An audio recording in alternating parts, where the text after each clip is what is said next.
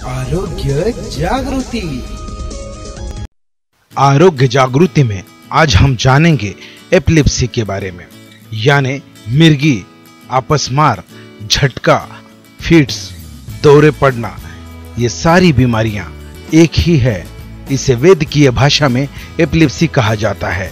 दोस्तों, हम कई बार देखते हैं कि किसी को एपिलिप्सी, यानी मिर्गी का दौरा पड़ता है।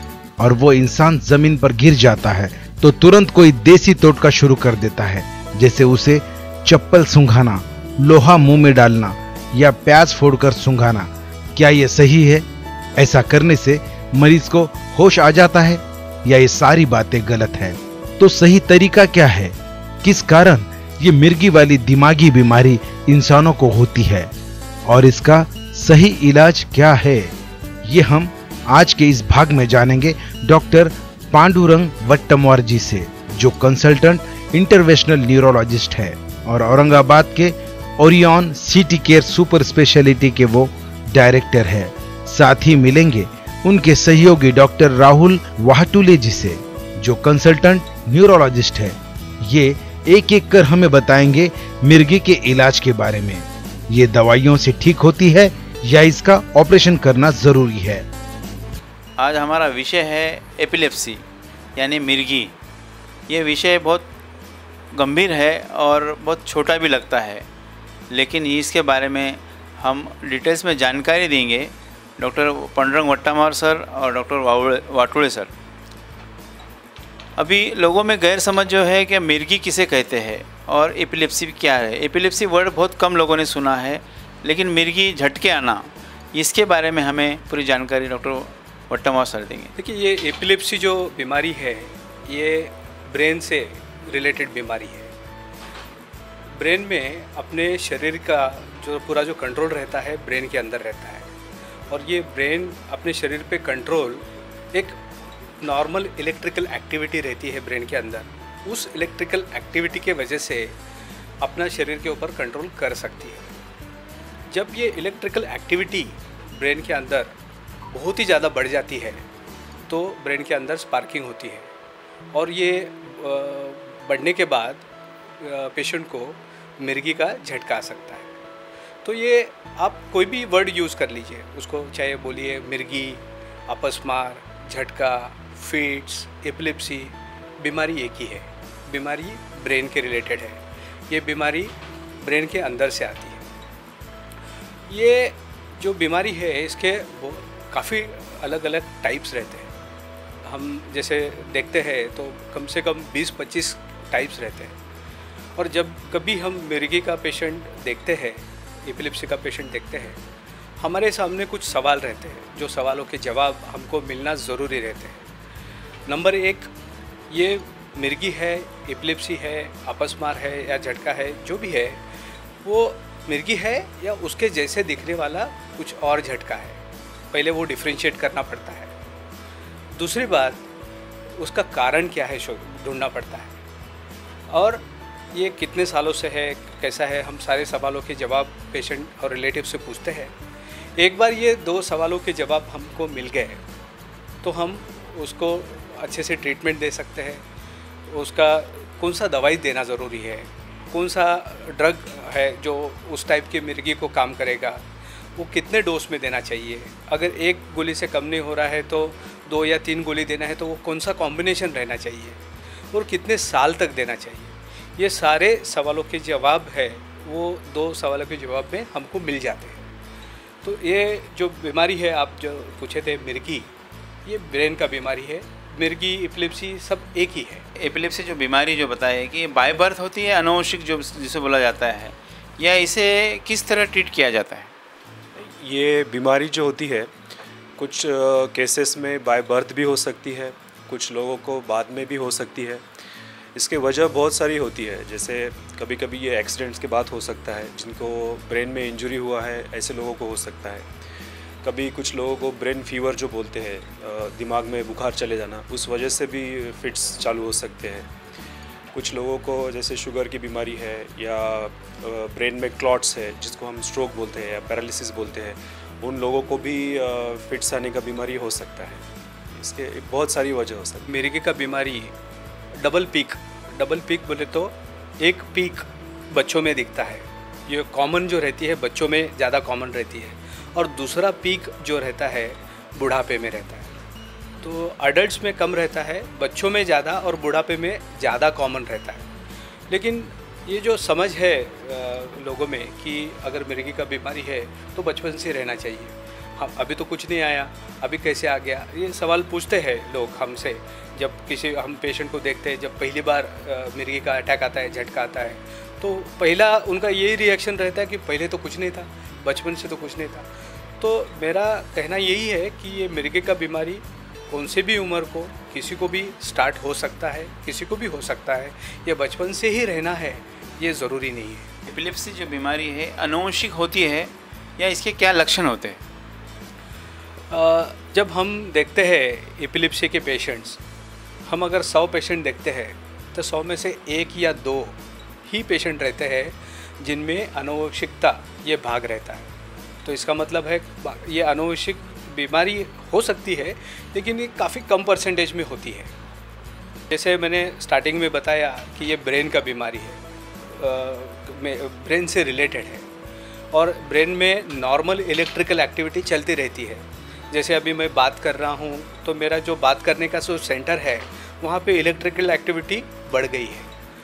तो वैसे ही ब्रेन के कौन से हिस्से में ये इलेक्ट्रिकल एक्टिविटी एबनॉर्मली बढ़ जाती है जो असाधारण बढ़ जाती है तो वो हिस्से को वो ब्रेन का एक्टिवेशन हो जाता है और वो हिस्सा वो एपिलेप्सी के लक्षण देना चालू करता है। किसी पेशेंट को चेहरा टेढ़ा हो जाना, किसी पेशेंट का हाथ पैर टेढ़ा हो जाना, एक हाथ और एक पैर टेढ़ा होना, किसी पेशेंट का पोश, ये टाइट पोशरिंग हो जाना या फिर किसी को झटके आना, ये क्लोनिक जग्स आना, किसी को मिर्गी का सिम्टम्स इतना कम होता है कि जैसे आँखें फड़फड़ाना, वैसे आँखें मिचना, इतना ही उसके लक्षण होते हैं। किसी किसी को पेशेंट अचानक गिर जाता है। लक्षणों में मैं एक कहना चाहता हूँ कि काफ़ी पेशेंट्स और रिलेटिव बोलते हैं कि पेशेंट अनकॉन्शियस हो गया था, लेकिन मुँह में फेस नहीं आया था। तो ये भी समझ है कि अगर मुँह में फेस आता है तो ही मिर्गी। अगर मुँह में फेस नहीं आता है तो मिर्गी नहीं ये ऐसा बिल्कुल नहीं है। तो मिर्गी का ब्रेन के कौन से हिस्से में इलेक्ट्रिकल एक्टिविटी बहुत ज़्यादा होता है, उसके ऊपर, उसके लक्षण डिपेंड रहते हैं। और कुछ कुछ मिर्गी के अटैक इतने बारीक रहते हैं कि आपके, अगर आपको उतना नॉलेज नहीं है तो बाजू में बैठे वाले पेशेंट्स को अगर मिर्गी का अटैक आ भी गया तो आपको समझ में भी नहीं आएगा। तो इतने माइन्यूट लक्षण भी हो सकते हैं। अभी काफ़ी हमारे दर्शकों का एक सवाल था कि ये जैसा जादू टोना करते हैं, ऐसा कोई भाग होता है? और इसमें ज़िंदगी भर इसका इलाज नहीं होता है। इसका इलाज किस तरीके से किया जाता है और कितने टाइम में अच्छा हो सकता है पेशेंट से? इसके इलाज के बहुत सारे तरीके होते हैं। ये किस टाइप का फिट्स का बीमारी है, इस पर डिपेंड करता है। बहुत बार अगर ये आनुवंशिक होगा तो इसको थोड़ा सा अलग ट्रीटमेंट होता है। किस वजह से हुआ है, इस पर इसका ट्रीटमेंट डिपेंड करता है। ट्रीटमेंट में सिर्फ़ मेडिसिन होता है टैबलेट्स होती है जो लेना पड़ती है रेगुलर बेसिस पे। ये लोगों का जो कहना होता है कि ये ट्रीटमेंट लाइफ लॉन्ग लेना पड़ती है या इसके कुछ साइड इफ़ेक्ट होते हैं, ये इस तरह से नहीं होता है। ये वजह पे डिपेंड करता है। कुछ वजह ऐसी होती है कि जिनकी ट्रीटमेंट बहुत शॉर्ट ड्यूरेशन के लिए देना पड़ती है। कुछ सालों के बाद वो टैबलेट्स पूरी तरीके से हम बंद कर सकते हैं ऐसे पेशेंट्स के। और कुछ वजह ऐसी रहती है जिसके लिए काफ़ी लॉन्ग ड्यूरेशन के लिए उसका ट्रीटमेंट कंटिन्यू करना पड़ता है। आपने अभी तक काफ़ी एपिलिप्सी के पेशेंट किए हैं आपको अनुभव है। तो अभी हमारे दर्शकों को बताइए कि आप जैसा भी कुछ सिम्टम्स आते हैं इसमें आप इन्हें क्या टिप्स देना चाहेंगे? एपिलिप्सी के पेशेंट्स का सबसे पहले तो डायग्नोसिस प्रॉपर होना बहुत ज़रूरी है। और डायग्नोसिस करने के लिए सबसे इंपॉर्टेंट जो रहता है पेशेंट और रिलेटिव उनके तरफ़ से जो हम जानकारी लेते हैं, हम जो बोलते हैं क्लिनिकल हिस्ट्री मेडिकल लैंग्वेज में, वो बहुत बहुत ज़रूरी है। पेशेंट के जो झटके आते हैं, जब पेशेंट ओपीडी में आता है, झटके तो ना मैंने देखे हुए रहते हैं, ना पेशेंट समझ सकता है तो पेशेंट आपके झटके, उनको जो झटके आते हैं, वो डिस्क्राइब नहीं कर पाते। जो झटके डिस्क्राइब वही आदमी कर सकता है, जिसने वो झटके देखे हो। और काफ़ी बार क्या होता है रिलेटिव्स झटके देखते हैं, लेकिन झटके आने की वजह से पैनिक हो जाते हैं। पैनिक होने की वजह से वो जो लक्षण है, उसके तरफ़ ध्यान नहीं दे पाते। चेहरा कैसा है, उसके हाथ कैसे है, पैर कैसे है, आँखें कैसी है, वो कितने देर तक था, कैसा, कैसे कैसे स्टार्ट हुआ, कैसे एंड हुआ एंड के बाद क्या हुआ? ये सारी चीज़ें हम, हम- हमको डिस्क्रिप्शन डिटेल में अगर मिलता है तो काफ़ी काफ़ी बार सारे जो इन्वेस्टिगेशंस रहते हैं डायग्नोसिस के लिए करने की ज़रूरत नहीं है। लेकिन वो कंफर्म करने के लिए करने पड़ते हैं। तो जब भी ऐसे पेशेंट मिल, आते हैं तो सबसे इम्पोर्टेंट रहता है क्लिनिकल हिस्ट्री उसमें 90 परसेंट डायग्नोसिस उसी में हो जाता है। उसके बाद आता है M R I M R I जब हम करते हैं तो एम आर आई एक अच्छी क्वालिटी का होना बहुत ज़रूरी है। अब देखो अब कैमरा में शूटिंग चल रही है, आप कैमरे के तज्ञ हैं, आपको कैमरे के बहुत जानकारी है। आपको भी पता है कि जब पुराने मोबाइल थे, वो जो कैमरा था तो कैमरे का पावर जो रहता था, तीन मेगापिक्सल चार मेगापिक्सल रहता था। अभी तो बहुत तरक्की हो गई है टेक्नोलॉजी बढ़ गई है तो कितने सुपर कैमरे आ रहे हैं मोबाइल में। वैसे ही मेडिकल टेक्नोलॉजी भी बढ़ रही है। उसमें एमआरआई भी क्वालिटी बहुत अच्छे से क्वालिटी के आ रहे हैं।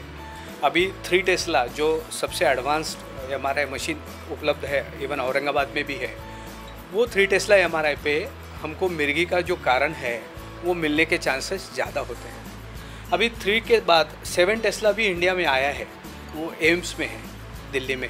लेकिन वो सिर्फ़ रिसर्च पर्पज़ के लिए यूज़ कर रहे हैं तो रूटीन क्लिनिकल पर्पज़ के लिए नहीं। अगर वो सेवन टेस्ला आता है तो और जानकारी मिल जाएगी। ये हो गया एम आर आई दूसरे बात, दूसरी चीज़ रहती है ई जी ई जी बोले तो जैसे अपना हार्ट का ई सी जी निकालते हैं, जो हार्ट का इलेक्ट्रिकल एक्टिविटी देखते हैं वैसे ही ब्रेन का इलेक्ट्रिकल एक्टिविटी देखने के लिए ई की रिकॉर्डिंग करते हैं।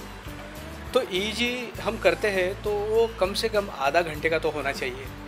पेशेंट का अवेक स्टेट और स्लीप भी होना चाहिए, जिससे हम जानकारी मिल पाए। अगर ई में अगर जानकारी नहीं मिलती है तो हम अगले स्टेप को जाते हैं तो उसमें वीडियो ई बोलते हैं। तो जो वीडियो ई है, ये इसमें पेशेंट को एडमिट करना पड़ता है। एडमिट करके हम धीरे धीरे पेशेंट्स की दवाइयाँ कम करते हैं जाकि, ताकि पेशेंट को झटका आए। इसमें वीडियो रिकॉर्डिंग और ईईजी रिकॉर्डिंग जैसे आप देख रहे हैं यहाँ पे, ये ईईजी रिकॉर्डिंग और वीडियो रिकॉर्डिंग कंटिन्यूस चलती रहती है। ये 24 four hours forty eight hours thirty six hours जितना भी ज़रूरत है, या फिर झटका आने तक हम रिकॉर्डिंग चालू रखते हैं। हम झटके रिकॉर्ड करते हैं। तो एक तो वीडियो रिकॉर्डिंग से हमको ये समझ में आता है कि झटके के लक्षण क्या है, मिर्गी के लक्षण क्या है, और ईईजी के रिकॉर्डिंग की वजह से हमको ये समझ में आता है कि ब्रेन का ऐसा कौन सा हिस्सा है जहाँ से ये मिर्गी के अटैक दौरे हैं, निकल रहे हैं, जो उसका उगम बिंदु है, हम ढूंढ सकते हैं। अगर एक बार ये सारी जानकारी मिल गई तो जैसे मैंने बताया, कौन सा दवाई देना चाहिए, कौन सा ड्रग देना चाहिए, कौन सा कॉम्बिनेशन देना चाहिए, कौन सा डोज देना चाहिए और कितने साल तक देना चाहिए, ये हमको जानकारी मिलती है। अगर ये सही दवाई, सही डोज, सही कॉम्बिनेशन में सही डायग्नोसिस होने के बाद अगर मिलती है, सौ में से सत्तर टक्का पेशेंट मिर्गी पूरी तरह से कंट्रोल हो सकती है। लेकिन उन्होंने वो रेगुलर दवाई लेना ज़रूरी है। तीस टक्का लोग ऐसे रहते हैं जिनमें सब कुछ सही है डायग्नोसिस सही है गोली का, गोली सही है, उसका डोज सही है कंटिन्यू ले रहे हैं, फिर भी झटके आते हैं। ऐसे पेशेंट में अगर हमको उगम बिंदु मिलता है तो वो उगम बिंदु हम ऑपरेशन करके निकाल सकते हैं, जो फोकस बोलते हैं हम एकतल ऑनसेट जोन बोलते हैं, वो ऑपरेशन करके निकालते हैं। इसको बोलते हैं एपिलेप्सी सर्जरी एपिलेप्सी सर्जरी ये सब मोस्ट एडवांस्ड सर्जिकल ये सर्जिकल टेक्निक है जिनको दवाइयों के बावजूद मिर्गी के अटैक कंट्रोल नहीं हो रहे, जिसको हम हमारी लैंग्वेज में मेडिकली रिफ्रैक्टरी एपिलेप्सी बोलते हैं, ऐसे पेशेंट्स को ये सर्जरी का बहुत फ़ायदा होता है। जो सर्जरी करते हैं, जो सबसे कॉमन जो सर्जरी है, अपना यहाँ पे जो टेम्पोरल लोब रहता है एंटीरियर टेम्पोरल लोबेक्टोमी और जो हिपोकैम्पस है, उसको निकालते हैं। ये सबसे पूरे दुनिया में सबसे कॉमन सर्जरी है। और अगर वो सर्जरी करते हैं पेशेंट्स में, लगभग 80 पचासी टक्का पेशेंट में फ़ायदा होता है। लगभग 70 टक्का पेशेंट में मिर्गे के झटके पूरी तरह से कम हो जाते हैं, बंद हो जाते हैं।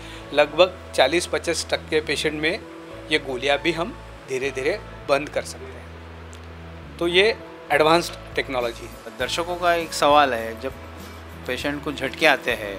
उस टाइम में पेशेंट नीचे गिर जाता है, कहाँ पे मार लगता है, पता नहीं चलता है। तो ऐसे टाइम में प्रथम उपचार क्या करना चाहिए? जैसा भी लोग आके ज़बरदस्ती मुँह खोल के पानी पिलाते हैं, कोई नाक दबाते हैं, ये चीज़ करना चाहिए, कितना घातक हो सकती है?